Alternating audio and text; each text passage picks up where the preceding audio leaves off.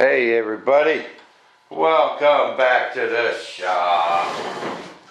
Golly, think we loafing or something. Okay, we got this to come out of this bag. I hope. I sure like this bag setup right here. This is cool. Bam, it's open. You can reuse that bag if when you're careful with them.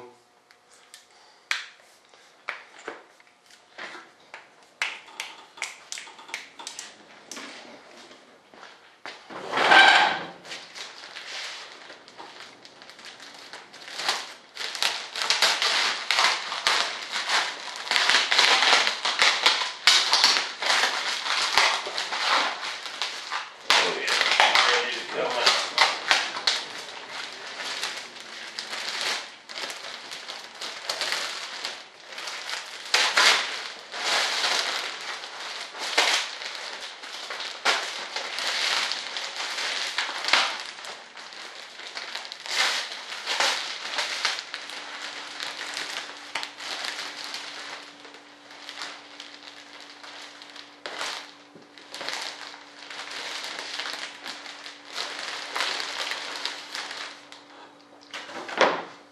Hmm?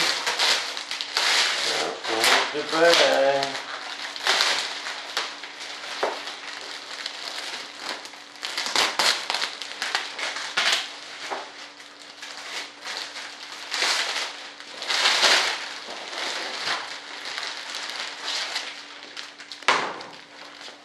Bam. I'm gonna take this bad boy, just like this.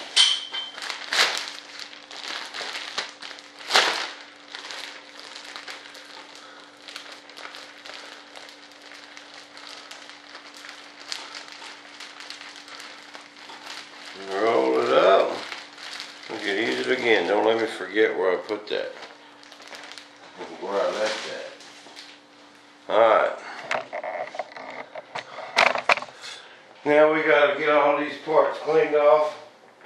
Or uh, get all this stuff cleaned up.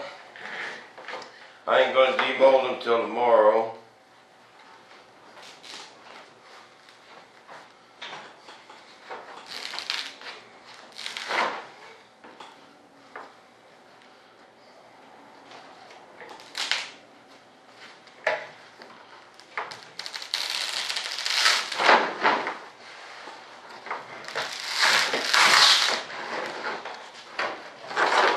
I'll give you a look at my gear doors.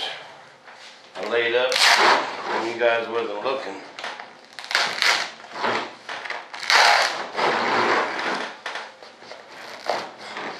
I could probably sit a little longer. It'd be easier to pull off.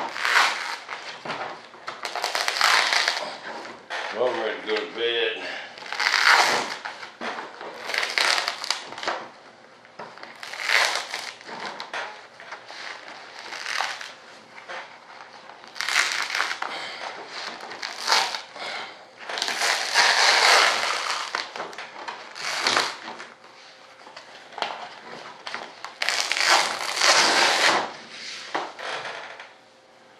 Bam.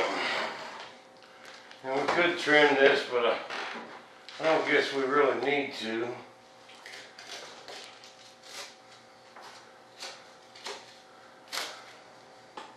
Because we're going to trim it all out. But we don't want to pull them out of the bolt till in the morning. And let them bad boys sit just right there.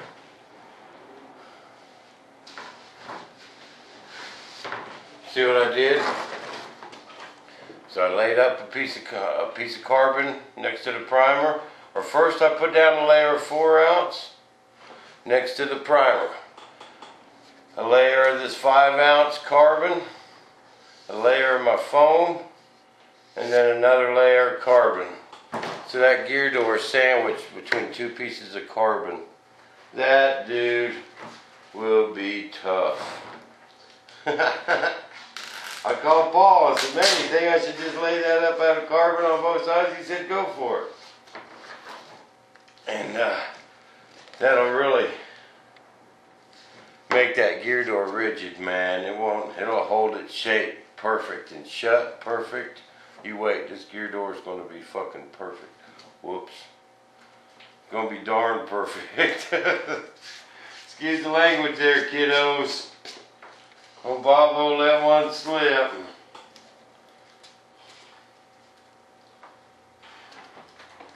Well, that worked out pretty good. And you see this little spot here? I mean, it don't have nothing I need probably, you know, for this little area.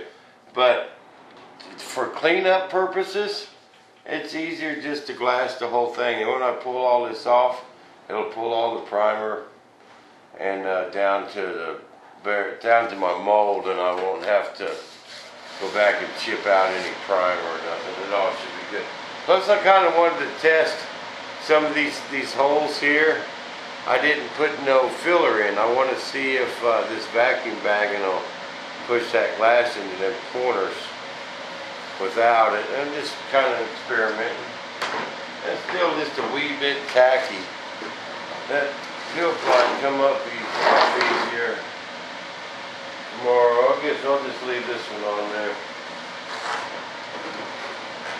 We'll pull it off in the morning. So tired. Again. man, that's gonna make one rigid old gear door, man. And I'll uh, I'll cut it out from my panel lines, then I'll come on this side and I'll trim back that pink foam just uh, a quarter inch all the way around so it fits on my lip. Then that'll give me my inner gear door look. And when I paint all that, oh, it'll look good. Super tough, rigid, won't be flopping around. Bump into it with the curb in the taxi test, take out a chunk of concrete, gear door will be fine.